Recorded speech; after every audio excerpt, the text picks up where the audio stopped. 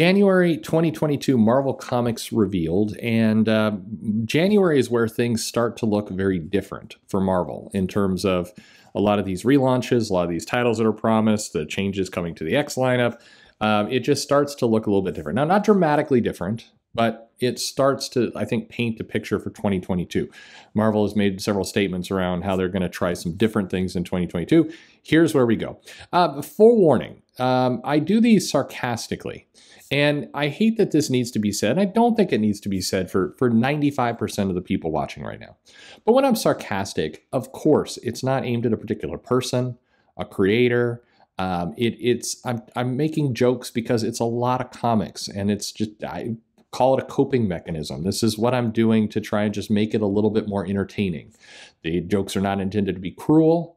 I apologize if they are. And you know, what are we going to do here? So let's let's walk through them and I'll, I'll, I'll be as funny as I can. It's also early in the morning. I don't know how funny I will be, but we'll, we'll give it a shot. So, all right.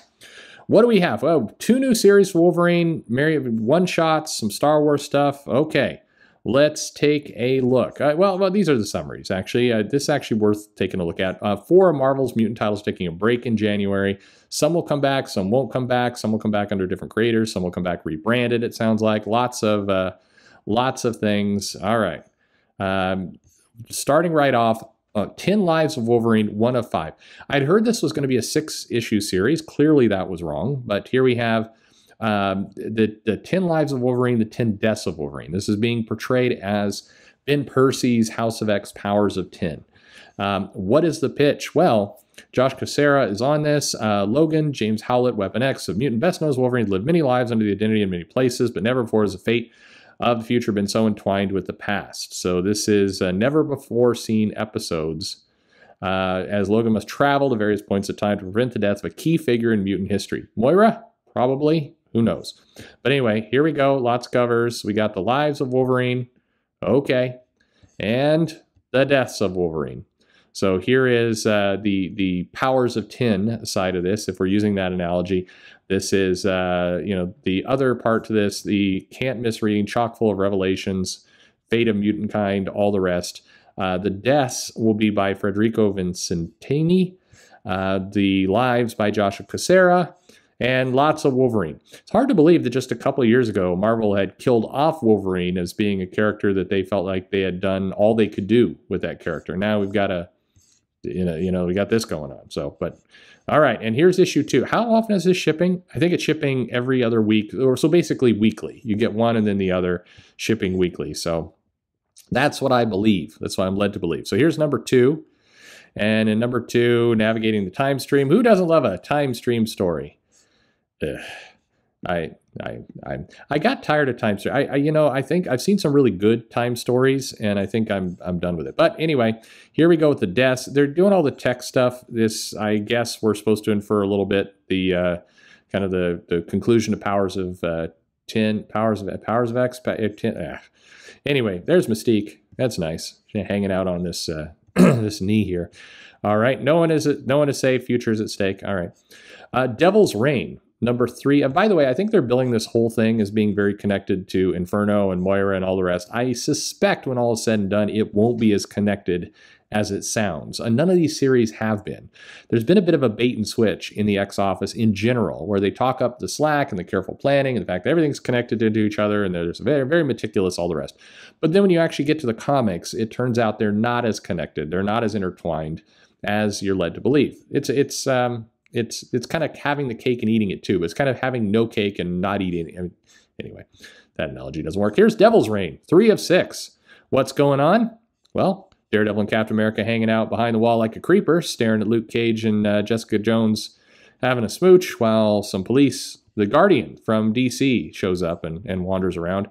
All right, Mayor Fisk has reached a breaking point. Supervillains, deputy, deputized Thunderbolts. This is like this. This feels like. Um, uh, this uh, oh god no. The the god what was the the fallout of of Norman Osborn? What was that imprint called? God why am I not remembering this? It's it is too early. It, it's uh, Dark Reign was that what was it Dark Reign this is Devil's Reign feels like we're doing Dark Reign again. Anyway it's fine. Um, the Superior Four. This is part one of three. Doc Ock uh, goes and gets all of the different uh, versions of himself. So the uh, arms can all. This is just hentai in the making. I, am just just pointing out right there. Um, Luke Cage, City of Fire, number two of three. This is the, the celebration of Luke Cage with the three part series. It still makes me a little insane. Here's Devil's Reign, X Men at number one of three. Phil Noto on this. And uh, this is, you know, how does the White Queen deal with uh, the Kingpin? All right, cool. Looks like a lot of flashbacks because here's Elektra. This, this feels like flashback comic. Here's Devil's Reign, Winter Soldier. Uh, Bucky's uh, sneaks into his office and uh, how, how, he could hear this guy coming. It would not be a surprise. I'm sorry. I, I anyway. All right. This is the first scene. This is a how it started, how it ended. Okay, sure. Um, how far would go to uh, villains for hire number three. Okay, this is again feels very much. It is Dark Reign. Feels more much. You know, so the villains are uh, are somehow in charge and they're doing stuff. Here's Daredevil Woman Without Fear, number one of three. This is the title that got everybody all crazy uh, because they're like, see, they're changing Daredevil into a woman permanently. But no, it's a three part series for, for this. I fully expect Matt Murdock to be Daredevil again when all is said and done, but because uh, I think there's too much money in Elektra. But who knows? Who, who knows what people do anyway? Elektra, Black, White, and Blood, number two of four. Very good. Okay. Um, I feel like I should make a joke about the just anyway. All right, Ben Reilly, Spider-Man 1 of 5. Uh, this is uh, J.M. DeMatteis, and this is fulfilling in a missing hole in the uh, era of the Ben Reilly Spider-Man. I, I do feel like Marvel's uh, misjudging a little bit how well Spider-Man's going to go over, but here's Amazing Spider-Man number 85, more hentai action as uh, Doc Ock uh, shows up and plans to put his little octopus arms straight up Spider-Man's uh, life. Yeah. Anyway, this is what happens. Aunt May went to go uh, get his help, and he's going to use it to kill Spider Man. Then we get uh, this kind of Norman Rockwell cover here. What's going on? Uh, this is one of those comics you'll remember for years to come. Yep, we're getting Spider Penis. That's right. That's the only thing it could be. Anyway, uh, and then next, this after 86, a comic we'll remember for years to come, we get number 87, which we won't remember. Is this back to Peter? I think this is, oh well. Uh, Captain America is Ben Reilly. If Ben Reilly is really down, is Peter Parker able to step and be Spider-Man? You may think you know where this story is going, but you do not. Okay, sure. Jed MacKay's on this.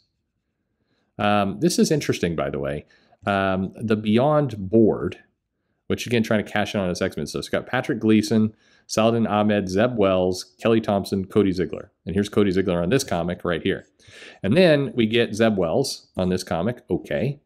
And now they're the the Beyond board has outsourced the work to Jed MacKay. Now that's good news, I think, because Jed MacKay is a fine writer, but it's it's kind of striking that it's it's been like two months and already none of the Beyond board are actually writing the comic. We've we've taken it to Jed MacKay. I, I don't. I mean, it's it's weird to me. It's weird, but I, whatever, whatever. Uh, Jed MacKay's a good writer, so I mean, who's not complaining? Here's uh, Mary Jane and Black Cat Beyond and try and cash in on that Beyond stuff. But what if Beyond isn't a big seller? Then they're just slapping Beyond on a bunch of stuff. I don't know. In this comic, the two of them, uh, scissor. That's what they do. So buy it. She Hulk number one. The return of She-Hulk, they say, uh, about to glam up the whole universe. The best character ever is back in her own series. This is an interesting admission. So we're, we're going ahead and saying that the previous She-Hulk was not the best character ever. Um, okay, Jennifer Walters is no longer savage, puts her life back together, career to rebuild, friends to reconnect with, court of law, enemies. All right. Um, the last page of the first issue is going to send Jen down a road she's never traveled that will shake up her life and probably, possibly, the whole Marvel Universe. So, okay. Anyway, uh, Rainbow Rowell in this book um, Maestro, World War M, number one. So, this is Peter David, I'm guessing. Yes, it is. Again, wouldn't have made sense to just have a Maestro series and not do these little limited series. I, I don't know. I, I've, I've run the numbers. It seems like the little five issue limited series do worse. But anyway, here's here's Beard Hulk. And because he's got a beard, he's an angry YouTuber. That's what's going on. And he's like fighting the the woke right here. That's no, that's not what's going on, but it'd be kind of funny if it was. Anyway, Silver Surfer Rebirth, one of five. Ron Marz, Ron Lim, the Rons bring us uh, a tale from the past, I think. Is it a tale from the past? Yes, it is. Well, how about a tale from now? That would be even cooler. Like put Ron Marz and Ron Lim on a book and tell. I mean, what is what Silver Surfer? Is he is he too busy doing nothing right now? Like anyway, Sabretooth, one of five, answering the question if it's a limited series. It is. So in January, Victor LaValle, who we heard was doing an amazing project, a dream come true, it's Sabretooth. That's what it was. And uh, he went down into the pit. Uh, so okay, maybe he feels what's what secret deal has changed his fate forever. What if he's not alone down in the pit? Who's in the pit? God, let it be all the other X Men are down in the pit. That would be the twist of all twists. Be great. Silk number one. This is uh, at least billed here as an ongoing comic. I lay 0% odds it will be. But anyway, Silk, uh, we're, we're going with Silk. So all new, all star series, gaining popularity in the public eye, questioning her place in the world, discovers the ancient Korean magic and social media. Oh, who, who can't, I can't wait to see Silk tweet. Uh, Fantastic Four Reckoning Alpha number one. Reckoning War Alpha number one. Okay, cool. So this is Dan Slott, Carlos Pacheco uh, doing an Alpha comic, which then will lead to a bunch of uh, connections and tie-ins. So this is the Reckoning War, um, the first war, the greatest war. This is Dan Slott's opus. A lot of people, even people who dislike Dan Slott an immense amount, uh, they they've been wanting this. And there's Jack of Hearts, so so that's good. All right, uh, Fantastic Four number four. My guess is here we've got. Uh, the Reckoning War. Yep, this is uh, opening shot, left Earth in complete and utter chaos. Oh my God, I hope the plants haven't invaded the Earth. That'd be terrible. Um, anyway, all right. Sue Storm has gone completely invisible. Even Watchers can't see her. Wait, what? Okay, Johnny Storm, full supernova. Everybody's powers are out of control. Dogs and cats. Avengers Forever, number two. In this one, we've got uh, a Ghost Rider, an Ant Man, and uh, Deathlok. And they are on an alternate Earth, and brutal war machines, Ghost Rider, Ant Man, Tony Stark, Brother of All Rescues, multiversal shenanigans that we've all loved. Here's the thing three of six, Walter Mosley, uh, and he's boxing. Marvel's getting their money out of that sponsorship right there. That's what's going on. Is that, uh, no, that's not. I was going to say, is that Moon Girl? No, I don't even, I think that's, I don't want to misgender this, this boy here, but, or maybe it's a girl. I, I don't know. Um, I thought it was Moon Girl. It's not, apparently. Okay. Black Panther Legends, number three of four. Black Panther fights a panther. Cool. Captain America, Iron Man, number three of five. Uh, Captain America and Iron Man fight something. Green, what is this? Uh, not sure what that is. Some kind of, maybe it's a super adaptoid type thing. I, I don't know. Anyway, I cool. They're they're fighting that. All right. Black Panther number three, which is also Black Panther number 200. It really does feel like, uh, you know, given I don't think this is a bigger comic no, it is 56 pages. What am I talking about? Okay. Black Panther 200 or number three, your choice. Uh, T'Challa goes to visit Storm on Mars, and uh, oh, we're sending Black Panther back into space. That's a fine idea. Uh, Hawkeye, Kate Bishop, number three of five. Hawkeye uh, is um, here and fighting a bunch of people. Okay, uh, the, the preview pages for this, for me, uh, are painful to, to no end. The, the, the whole selfie game and all that kind of stuff. I I'm not. Uh, this is this. It doesn't build up a hero. I guess it appeals to people on Twitter who like selfies, but I mean, also, I mean, the whole selfie as a gag thing is 2017. I don't know. Miss Marvel, Beyond the Limit, number two of five. So here is uh, uh, Miss Marvel is she's punched her way out of the Bollywood bubble she landed in when she got home from sh- Chicago. Hulk number three. Hulk's in space. Wolverine's in an old costume. What does this mean? There's another Bruce Banner. Where's the Hulk? It's a doozy. All right. Maybe there's no Wolverine in this. It's not advertising mover. Uh, Dark Ages, four of six. You get to the point with some of these solicitations and covers where you make a guess at it and you're just like, I, okay, all right. Uh, Tom Taylor, and a group of heroes have crossed the dark seas in desperate and dangerous attempt to save their friends. But before the heroes can save the world, they must first survive the most treacherous place on Earth, Europe. And, well, you'll never guess which character is bisexual. No, I'm just kidding. I'm just kidding. It's Tom Taylor joke. Just just kidding. Europe is the most treacherous place on earth. Well, that that's that's yeah, yeah you're not wrong. Uh, Venom, number four. Okay. been Venom, somebody's stabby stabby. Oh, the villainous Life Foundation is back. And uh, they're going after Dylan, who's got the Venom symbiote. Uh, Ram V. Bryan Hitch. All right. No sign of Al Ewing anywhere. All right. Here is X Men Legends, number 11. This is the Lee Simonson, Walter Simonson, uh, New Mutants, uh, the, the, Horsemen of Apocalypse are trying to find a, a new horseman. And here's X Men number 7, where uh, the X Men leap into action, but Captain Krakoa is here, and he's wanting to take. Um, uh, he takes charge of the X Men. Uh, who is this new mutant hero? Probably not a mutant. Uh, I feel like they're going to go back to the well of somebody pretending to be a mutant, or maybe it's Eunice the Untouchable, or who knows. Anyway, um, inner dr- drama. Marauders Annual Number One. Steve Orlando, who appears to be the new creative on the book. Uh, cool. We've got Brimstone Love, which is a definite um, reach back into the past. Theater of Pain. Uh, Daken Psylocke. Looks like this is the new team we're going with here. Um, I, it feels like they, they've been, I mean, is it just me? I mean, with Daken, they keep trying to push Daken, and I know Daken's very popular on Facebook and Twitter, but I, the people coming to the shop hate that character. I, I, don't know. Is Are there Daken fans out there? I, I just, I, New Mutants, number 25. Uh, Madeline's Madeline's looking looking good here. I this um, torn cloth here looks like she's got something really disturbing going on down there. But uh, anyway, uh, this is is promoting uh, Illyana is the sorcerer supreme. So maybe she's taking. This is not a good idea for Illyana though. For Magik, um, she has her own character, has her own thing. The Limbo connection. There's tons you could do with with Magik. Uh, throwing the sorcerer supreme title on her is a is a big mistake, I think. But anyway, lots of candles. If you keep all those candles like this, eventually it's going to start a fire. Particularly if you got books flying around everywhere. It's not a good idea. Just just saying, fire safety helps us all. Here's uh, Marvel Avengers, Tech on Avengers. It's ending. This is the Jim Zub series. This series has been great.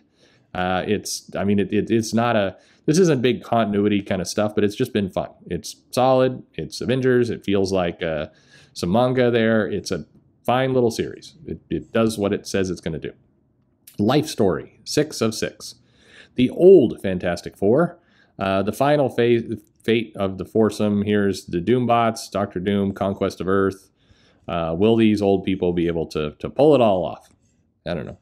Uh, Moon Knight, number seven. You think Reed Richards could could do the you know Rick earlier clone thing and and make it make it play, but I, whatever. Moon Knight, number seven. Uh, again, Jed MacKay on this, who's, who's making quite a name for himself. He's he's like Chip Zdarsky was like two or three years ago, when everybody's like, "Holy shit, Chip Zdarsky does everything great." Now it's Jed MacKay. Anyway, Out for Blood. Cool. They're they're still pushing this bar with no name. I still believe this. Uh, would the Marvel heroes allow a bar for villains to just exist? We've seen now that the Marvel heroes all know it's there. Why, when they go in and, and and shut that down. It's like, well, the villains are just minding their own business. Yeah, after they've been done murdering, they go and get a drink. So it's like, well, they're, they're getting a drink. I mean, we can't we can't shut that down. What, what are you talking about? Death of Doctor Strange, Bloodstone, number one. Are we going to do something with Elsa Bloodstone this time? I don't know. Tini Howard's going to answer that question. I'm guessing no. Uh, they all they they push out Bloodstone. They they give her a relationship with Deadpool. They do they keep trying, and then they it seems like they tell their story and then they promptly forget about her for months. So maybe maybe we're getting something more with her. I don't know. Death of Doctor Strange, five of five. Is he dead? The three mothers, uh, Doctor Strange murder, all one last trick from young time traveling Doctor Strange. Okay. Defenders. I, am guessing he's not going to be dead at the end of that, but I don't know. He's not dead here though. Here's the Avengers. Are we getting the reveal of who is this character, the masked rider, masked raider, who, who nobody really cared about his reveal. But anyway, he's trying. I, I'm not. I, I wanted to like this comic. I like the first issue. It's sort of like the second issue. Third, I, it was the, the most recent issue I read. It's like, I, you know, I'm I'm out. Avengers 52, multi universal madness. Look at all these wacky characters that are different from the characters we know. That's crazy, crazy. Anyway, all right. Nobody's ever seen anything like the Star Brand Unleashed. I mean, why not? Spider Woman, number 19. Spider Woman meets Spider Woman. It's a Devil's Reign tie in. All right. Uh, here is Miles Morales Spider Man, still rocking that costume I hate. Other people, I've seen a number of people come in and say they really like this thing. Cool. I, I mean, if it works for you, works for you. Uh, is this his weird lumpy brother? Is that what's, uh, I think so. Oh, we're back to the assessor. All right. Oh, it's Ben Reilly. Okay, we're just tying everything into it now. Marvel's number eight. Kurt Busiek, Yarji Sinair. This is a, a, book that continues to, it's been solid. I mean, it's just kind of hanging out on its own. All new Warbird is revealed. Cool. There, there she is. I think she's black now. That's that's what uh, that's what that says. Phoenix Song Echo number four. Um, here is the Phoenix. Here is is this the Trickster from Fall of Mutants? Uh, probably not, but maybe. Oh, it is the Adversary. Yep, it is. Okay, well, I, I can't say I was looking forward to the series, but I will. I mean, all right, you're going to tie into Fall of Mutants. I'll go. I'll go look. Like, you should lead with more of that. Anyway, all right. They're they're doing kind of the Dark Phoenix ish saga and Phoenix Song. I I got a preview copy of the of this book. It would, I don't know. Uh, here's Iron Man number 16. Wow, it's hard to believe it's only on 16. This series feels like it's been roughly 500 issues of uh, absolute torture. Again, nothing against the creator, any of the people involved. I, this this this is a. People sometimes ask me what books do I like, not like. I do not like this book. I do not like it. I do not like it with cheese. I do not like it with ham. I do not like it with a hat. I do not like it with a bus. I I, that's not how that book goes, but in fairness, it's been a long time. I do not like it. Anyway, the Iron God is on Earth, humanity, Tony Stark, okay. Uh, power corrupts, sure. Black Widow, number 14, chandelier action. Cool. Uh, Captain Marvel 36, chandelier action. No, actually, it looks like Captain Marvel and some friends fight the goo Captain Marvels um, in space. All right, fun. So a fight so big we had to add an issue. It's odd. Okay, but this is the finale. Uh, Guardians of the Galaxy, Captain Marvel. Cool. By the way, I'll give Kelly Thompson some credit. It's it's that day of the of the year. Um, Captain Marvel's got a big threat. What does she do? She goes and gets the uh, Avengers and the Guardians of the Galaxy. That makes sense. That's good. I hate these comics where like Captain Marvel's facing some huge multiversal threat, and she's like, "Well, I'm going to have to call in uh, my friends War Machine and Hazmat and." Uh, you know, and uh, Monica Rambeau's not answering her phone, and uh, I don't feel like leaving a voicemail. Let's uh, let's get Spider Woman in here. That's that's how it often goes. So it looks like they, you know, she's bringing some actual, you know, people who could, in theory, face a multiversal threat. That makes sense. Shang Chi getting a getting a little neck massage there. That's that's always nice. Eternals number nine um, looks like somebody's really messing up South America. That's uh, that's this Argentina is fucked right there. All right. Strange Academy, number 15. Top hats are in. I, yeah. All right. This is, uh, I feel like a lot of jokes can be made here. We got a little like midget uh, clown thing, and we got a hunky, uh, or a hulky, not hunky, uh, like a hulking old lady here, and we got top hat guy with Joker colors. It's like, I don't know. I, what I feel like I should do is Stefan, like, this is the most exciting thing you have ever seen. We have top hats, scarves, and old ladies. They will delight you in Strange Academy. That's that's kind of what it feels like. Anyway, I didn't do that very well. It's been a while. Thor. Thor is crushed by his logo. It happens. It's a hell of a thing. Um, here is Savage Avengers. Conan rides into the snowy sunset. Oh, this is the end. Okay. Crom, it's all done. Thank you for the adventure. Conan's gone. He's he's all done. Okay. Ka-Zar, Lord of the Savage Land, number five. Uh, this this comic is is a, is a tricky. I'll just leave it there. Alien number nine. Uh, oh, this is what happens when you have those candles too close to all the pages. This alien knows. It's like magic. You burn down the farm every time. King Conan number two of five. Here Conan's a king. Maybe he's got a son there. That's probably what's going on. Here's Star Wars. Chewbacca. Uh, no, this is just probably a Wookiee with a lightsaber. Uh, who did? You know, sounds sounds good to me. Uh, High Republic, Eye of the Storm. You know, you, are gonna get, you're gonna fall, dude. You're gonna, you know, there's no safety rope. You don't look that cool staring off into this. No one can see you. I don't even know what you're doing. I guess it, it is on the nose for Eye of the Storm, but bad plan. And here's uh, Trial of Shadows, uh, number four. I can't tell you what these titles are doing right now, to be honest. Um, High Republic number 13. Yeah, she is not like this is the most passive deflect lasers being shot at you at all at all times. I, I not doing anything. Crimson Rain, okay, got some got some Crimson Rain, uh, different than the Purple Rain. Here's Star Wars Bounty Hunters, okay, they're still standing around. They've got some bounties to solve. Oh no, boxes. Uh, Star Wars number 21. Okay. It's kind of a weird looking architecture there. The stormtrooper's like, oh man, why'd you, you sculpt Darth Vader's head in this? It's crazy. All right, that's it. Okay, so in general, we're looking at, um, oh, about 15, 16 books a week for the four weeks of uh, January. So they're they're stepping up their game. There's quite a bit here, actually.